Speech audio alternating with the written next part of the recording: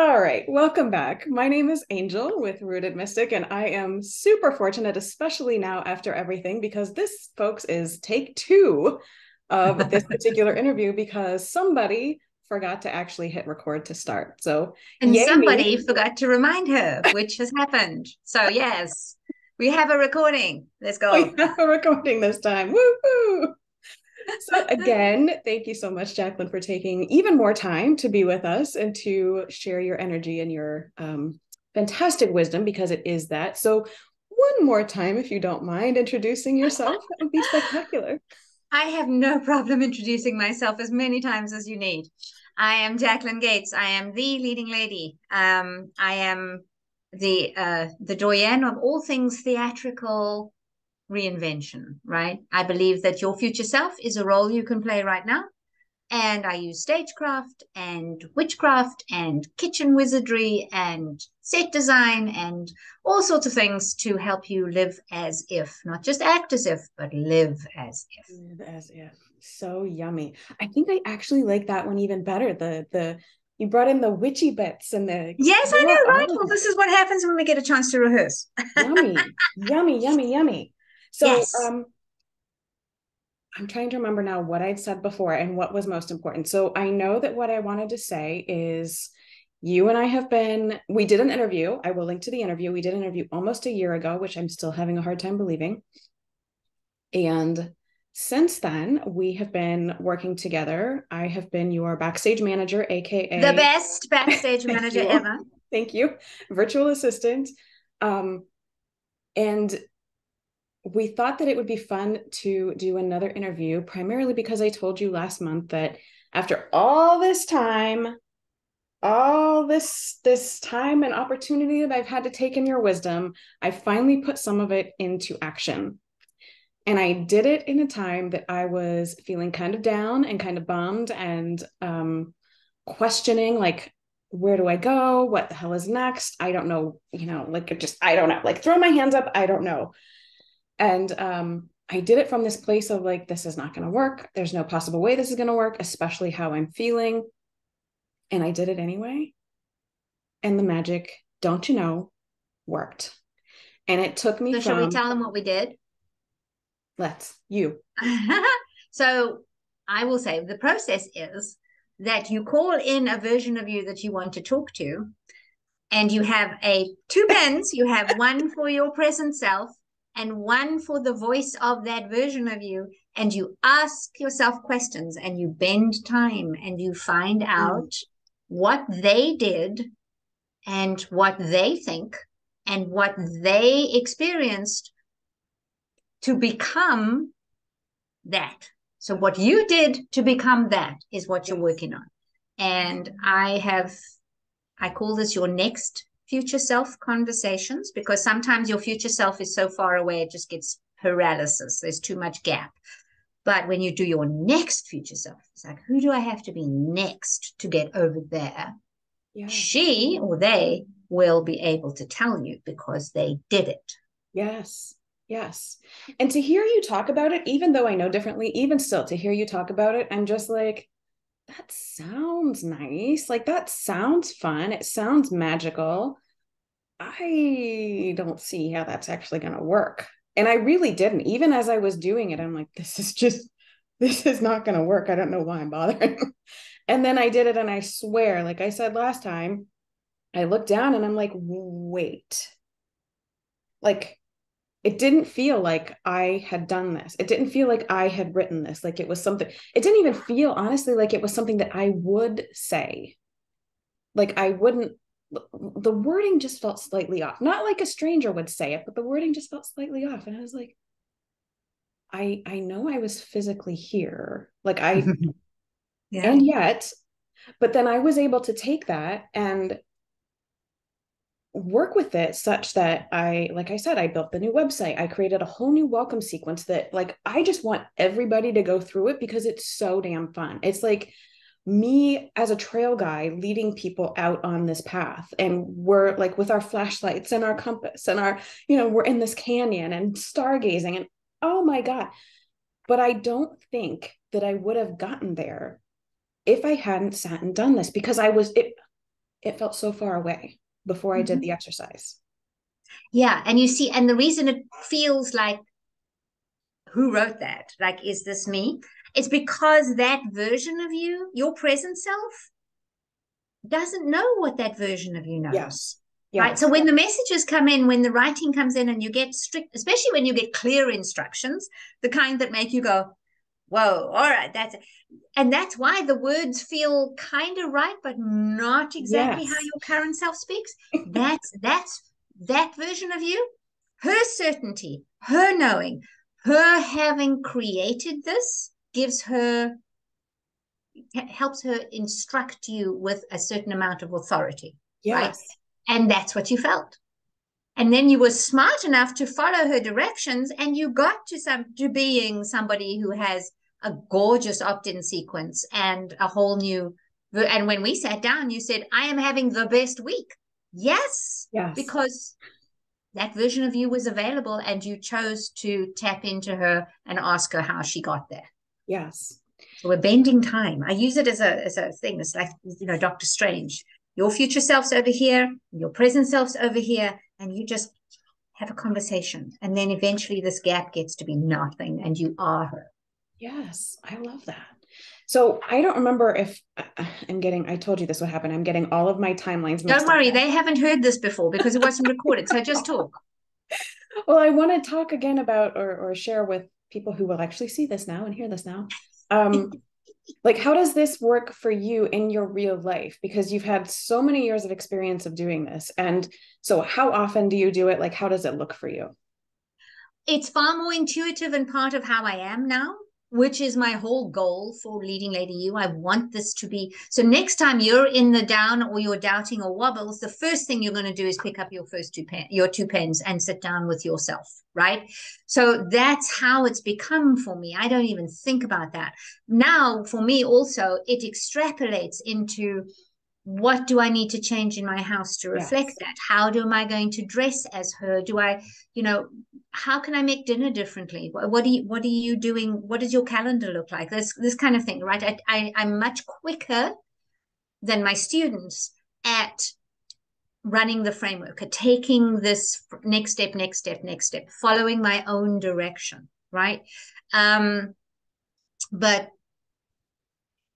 it has it took the first time it took okay so the first time i did it it was beginner's luck and my entire life changed and all my dreams came true in six months.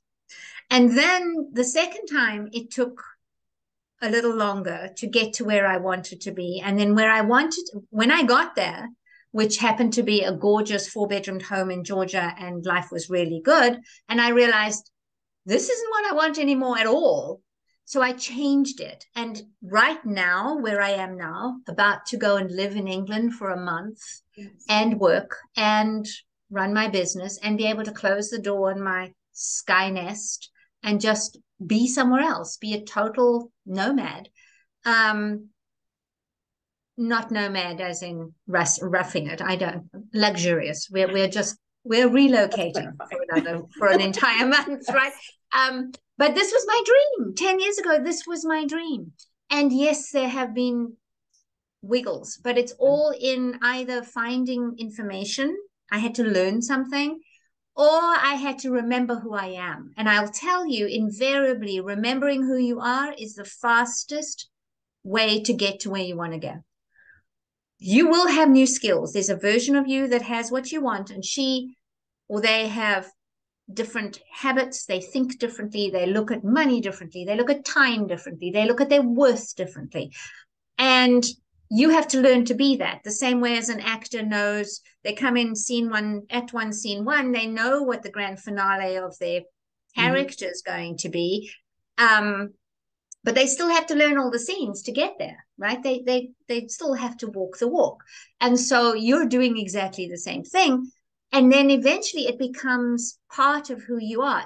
If I want to be a different version of me, I immediately know how to do that. Mm. And the same way as you've had amazing results from this one process, you will go back to it. Mm-hmm. You find a deck of cards that speaks to you, you go back to it. You find a spell that works gangbusters, you go back to it, right? this is what and then it becomes one of your coordinates it becomes one of the things you do to be who you are for me glamour magic. My eyeliner is a sigil. My mirror work is mirror work. I i even like mirror mirror on the wall. I do those things. Um you know and it is it is a core part of who i am because i developed that. Mm-hmm. and I also not only developed that part, but I let go of a whole lot of the stuff I thought I had to be in order to be me. And that's not true. We we'll, you know, for the first nine years of our lives, we are sponges. We have to be, otherwise we don't know how to be humans, right? right. We take in everything, we believe everybody, we, you know, hopefully we get through to nine years old and then we start questioning everything which is why the teenage rebel who am i what do i want to do teenage you have to let go but then when you get into your third and fourth decades. Now you've done most of the humaning. Now you're looking back going okay i've had all this resume.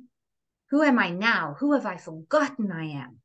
Who have i who have i been pretending to be? Yes. because it was safe or lucrative or expected. whatever. Expected. Yes thank you. So then most people will go well i don't know. And in the i don't know your brain goes well we can't do i don't know. So you go down because it's now full of doubts and it's full of wondering and it don't but you have a version of you that knows. And your job is to talk to her and find out how that how she be that. And then you start incrementally little by little being more her. And when you do that you end up with a life that you have designed that you love living. And that's theater right you become your own grand finale I'm grand. finale. I love that. So I want to say before I forget, for anybody watching, listening, the um the glamour submodule in Leading Lady U within the the platform, one of my very favorites. So fun for so many reasons. I cannot I cannot recommend it highly enough. It's yes good. and then we're going to add another one we're going to play with the alter ego academy Oh, because yes because people teach you muses uh, like you need a muse for something to be outside there. But i did a masterclass with RuPaul and when i put it like that it sounds like i'm sitting in the audience. But actually it was on masterclass. And they and they taught Ru, RuPaul taught yes. character right? And what he said then was that a muse is a reflection of a piece of you that you've been hiding and so that's what we do. Your alter ego is just the most unapologetic, magical part of you. And when you can curate and create that, and you use that as a coordinate for your everyday life, you find the magic in the mundane. You find you find the the alter ego. You get brave for one thing. You Mm. get completely unapologetic you don't dim your light anymore because you know there's that version. That is the magical and fantastical part of you. And the more you can bring it into this humaning life, the more oomph you get. It's so Yeah, good. So we're going to play with that too next time. I can't wait for that. Yeah, I love that. And I love anything ordinary magic related, as you know. Uh-huh. Um, one of the things that occurs to me, like as soon as anybody starts to talk about anything like this and, and stepping into a, a future self or um, the best part of you or the fullest, deepest part of you, my first thing is always, okay, but how? Like I can almost hear this whiny voice in my brain going, but but how? I want to, but how? Ah, And we were talking earlier about the difference between the push and the pull.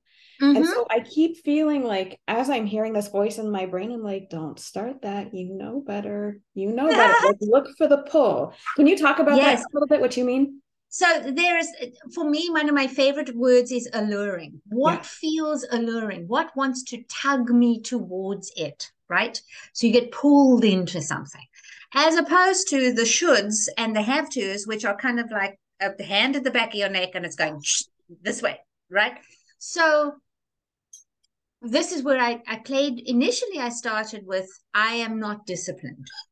I will tell you, discipline dear God, every single school report. If Jackie was more disciplined, she would be.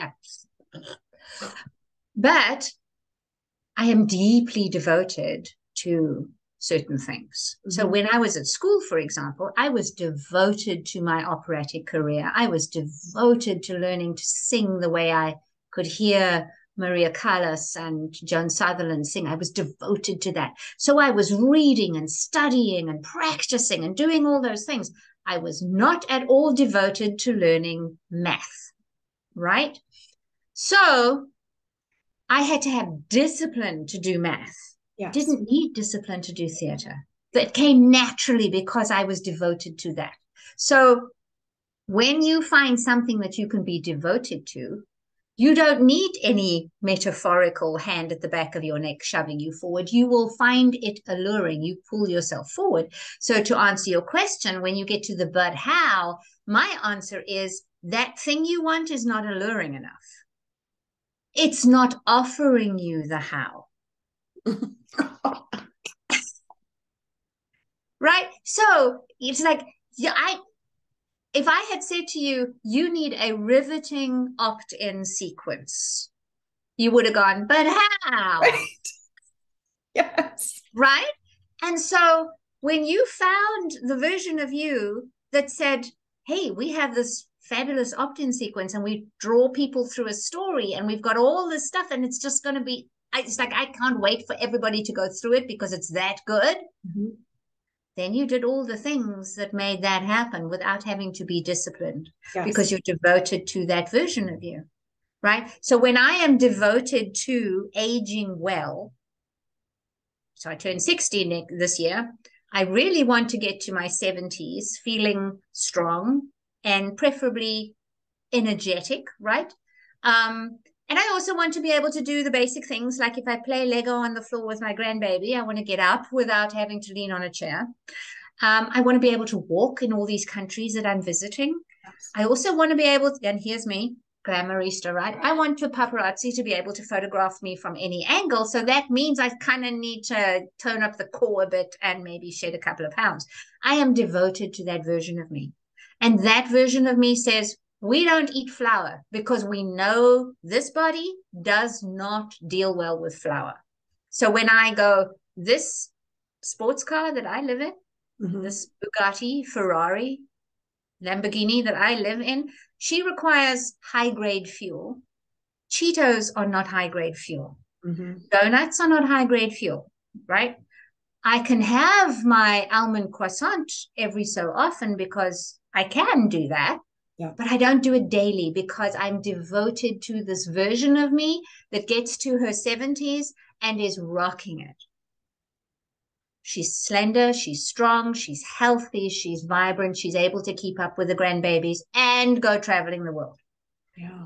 This is what I'm devoted to, which means right now, the but how disappears because she's telling me, she's giving me the info. The only thing is the how is to follow my own promptings, follow my own guidance, listen to myself above everybody else.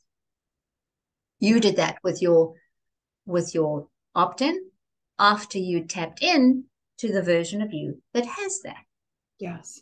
That wasn't in the down, that was feeling fabulous. And when we jumped on the call and I said, How are you? With I'm fabulous. I'm so radiant. Good. I'm re- feeling so good. Yeah. That's the version that was talking to you when you were in the down and you went, this is not going to work, but I'm still going to do it. Yeah. I still can't get over it. I really can't. I know I keep kind of harping on it, but I really wonderful. No, of course. the first time it happened to me, it uh, it was a coffee shop. I I just I started writing my own memoir from seventy years old. Mm. It was like mm oh, what I'm doing is scripting. I am doing Pray Rain journaling. I'm doing magical writing, right? Not as in pulling in another entity, but pulling in another yes. version of me. Yes. Very different. And so when I started writing my memoir, and I decided that that apartment that I was in was where I started to make big money. That was my thing. That I remember that that apartment was where we started making big money. Yes. And then I changed pens and I said, what does big money look like? Big money looks like more than your retail. And so we had some figures. And I was telling you earlier, I this month made my whole 19, 2019 income, my entire year's income, I made more than that this month. It's been three years, two years. So again, this that's proof. This stuff can happen so quickly. Like it doesn't it, it doesn't have to take the 10 years. No. Right. And it helps. And this is where we kind of have to dance because you can't read the label when you're in the job. Yes. There is no such thing in my theatrical terms. There's no such thing as a one woman show. You will always need somebody to mirror for you what you can't see clearly for yourself. Mm-hmm. And I see them, I call them metaphorical mirrors. I want, you don't want the distortions, the, the, the circus mirrors, right? You want a clear and loving and compassionate and fiercely devoted to you mirror. And so they can show you where you're shining, but also show you where you're hiding. Yes. And so in the theater, you will always have a director who will go out into the front row and say, I can't hear you. And then you have to speak louder. And then they'll go up into the balcony and they say, when you move over to that side, I can't see you from here. So you need to come in a little bit on the stage, right? Because they give you a perspective it's not possible for you to get. Mm-hmm. So you're looking for those kind of human mirrors. You're looking for mentors and magical teachers that are going to give you that. What you're not looking for is somebody to hold a mirror to themselves and say, you need to become this, please. Right. In order to succeed. Right. And that's right. not true. Right. So you have to have some kind of mirror, coach, guidance, mentor. Can come from a book, can come from a teacher, can come from anything, but you need to be very clear that they are devoted to your thriving, what that looks like, mm-hmm. not what they are doing. And so for me, I become my own mirror, but I still have a coach because there are times where I get so in my brain and so in the what ifs and I get so distracted about what everybody else is doing. And then I have to have that reminder goes, yes, but that's not you. Yes. Yes we so, had this whole discussion. I was going to turn Leading Lady U into a membership program. I'm not going to now because it doesn't suit me. Mm-hmm. That membership model works beautifully for a whole lot of my colleagues.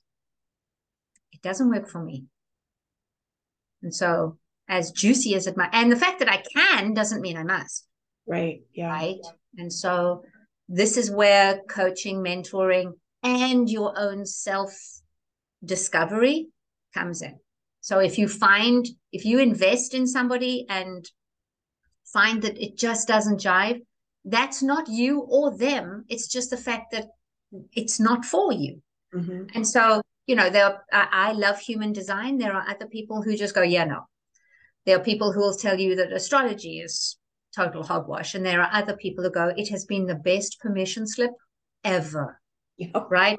Yeah. And so, and then there are those who are purely scientific and they want to see the line of causality between this thing and that to make an effect. And we're going, magic is just what science hasn't explained yet. Yeah. That's all it is. It's a technology, just hasn't been explained.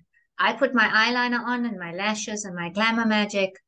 I can't say that that will definitely give me a new client or whatever, but I sure as hell know it has something to do with it. Mm-hmm.